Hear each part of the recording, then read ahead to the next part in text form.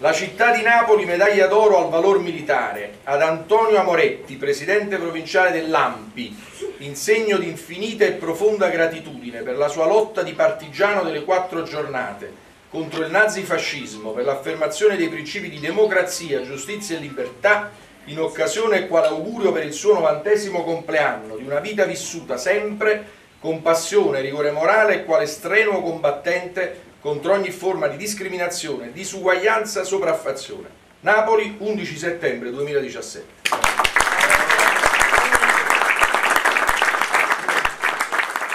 Sono particolarmente emozionato che non mi aspettavo questa accoglienza di tanti amici e compagni questa mattina. Protagonista delle quattro giornate di Napoli, una vita trascorsa contro il nazifascismo in nome degli ideali di libertà, giustizia e democrazia, Antonio Amoretti riceve in comune un festeggiamento speciale per il suo novantesimo compleanno, alla presenza di familiari ed amici e del professor Guido D'Agostino dell'Istituto Campano per la Storia della Resistenza, il sindaco di Napoli Luigi De Magistris gli ha consegnato la targa della città. È stato poi siglato tra Comune e Comitato Provinciale dell'Ampi un protocollo di intesa per l'affidamento affidamento di alcuni locali della Galleria Principe nei quali nasceranno la Casa della Resistenza in Campania ed il Museo delle Quattro Giornate di Napoli. Un protocollo molto importante tra il Comune di Napoli e l'AMPI, l'Associazione Nazionale dei Partigiani Italiani, Casa della Resistenza in Campania e Museo delle Quattro Giornate di Napoli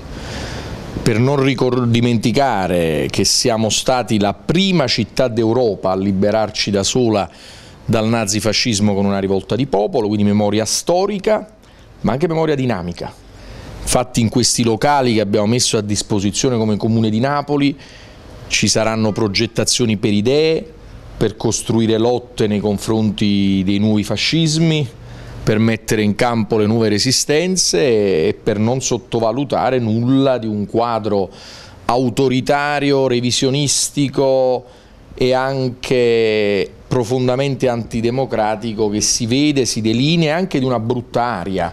che in alcuni luoghi si comincia a respirare. È un primo passo molto importante, questo è il segno che la città, che l'amministrazione vuole eh, con noi portare avanti la memoria storica, trasmettere ai giovani particolarmente gli ideali della resistenza e dell'antifascismo. Questo è il compito dell'AMBI, è il mio compito che da anni mi sono assunto e che continuerò finché le forze me lo consentiranno, parlare con i giovani per far capire loro che cosa è stato il fascismo, la, la guerra, la resistenza.